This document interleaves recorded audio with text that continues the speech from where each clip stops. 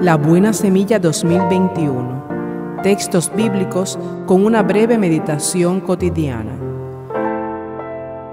Suscríbase a este canal y active la campanita para que cada día pueda disfrutar de esta hermosa reflexión.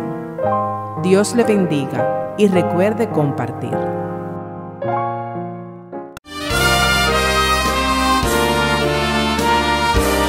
Presentamos la buena semilla, una reflexión para cada día del año.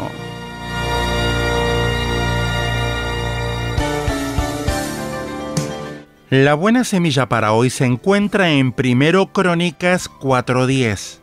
E invocó Jabes al Dios de Israel diciendo: Oh, si me dieras bendición y me libraras del mal para que no me dañe.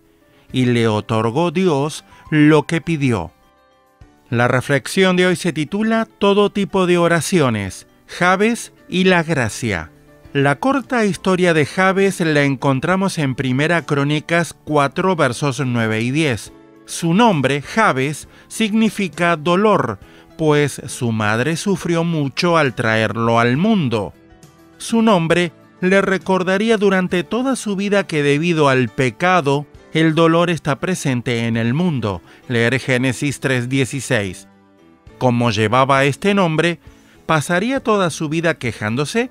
Todo lo contrario.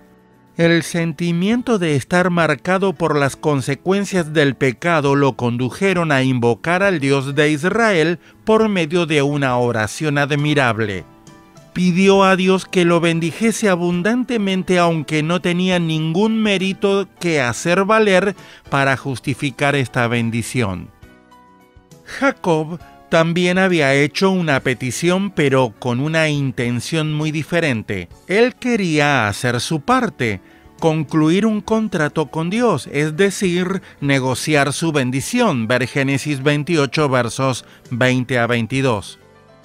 Jabes era consciente de que no tenía nada que ofrecer a Dios, no pretendía nada, solo invocó su gracia. Sabía que se dirigía a un Dios rico, siempre dispuesto a dar, y no fue decepcionado.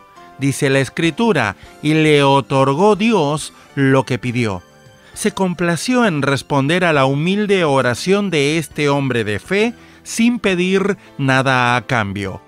En efecto, nunca pedimos la gracia de Dios en vano. Él se complace en los que esperan en su misericordia, como dice el Salmo 147, verso 11.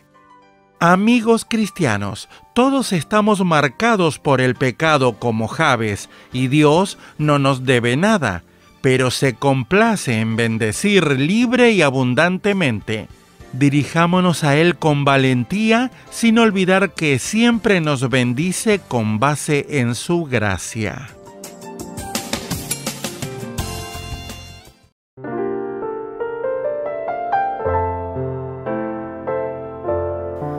La Buena Semilla 2021. Textos bíblicos con una breve meditación cotidiana. Suscríbase a este canal y active la campanita para que cada día pueda disfrutar de esta hermosa reflexión. Dios le bendiga y recuerde compartir.